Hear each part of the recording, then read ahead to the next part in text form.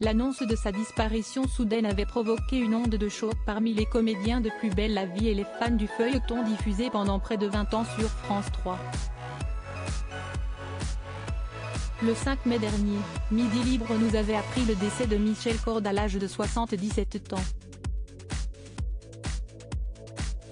Ce dernier, qui avait prêté ses traits au personnage de Roland Marcy dans la série télévisée à succès, avait été retrouvé mort par arme à feu, à son domicile situé dans l'Hérault.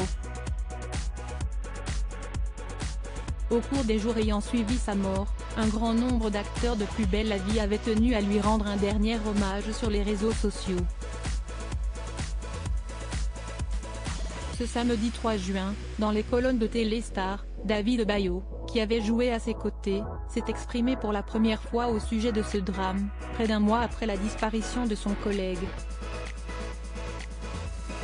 Supérieur à supérieur à supérieur à ces tragiques décès de personnalités qui ont déjà marqué l'année 2023 David Bayou, j'aimais beaucoup parler avec lui David Bayou, qui avait porté à l'écran le personnage de Jawad Sanega entre 2009 et 2017, c'est d'abord mémorer la présence de Michel Cord dans Plus belle la vie, qui était un pilier du feuilleton télévisé.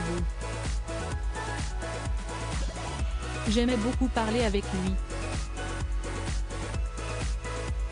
Il était si gentil, a-t-il confié ensuite à nos confrères, disant se souvenir d'un homme avec un cœur énorme, mais aussi doté d'une grande ouverture d'esprit, et, extrêmement bienveillant. Et d'ajouter, on a tous eu énormément de peine. Parmi les hommages rendus à Michel Corde figurait celui de Dounia Coézin, qui incarnait dans Plus belle la vie le personnage de Johanna Marcy, la petite fille de Roland.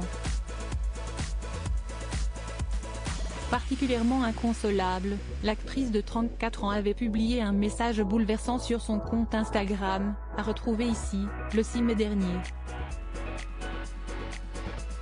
Tu nous as donné tellement de bonheur et d'amour, avait notamment écrit la jeune femme, qui a aussi joué dans Demain nous appartient, TF1.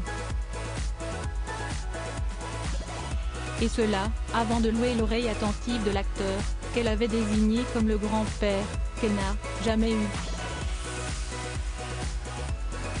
Article écrit en collaboration avec 6 Média Crédit Photo, Véan.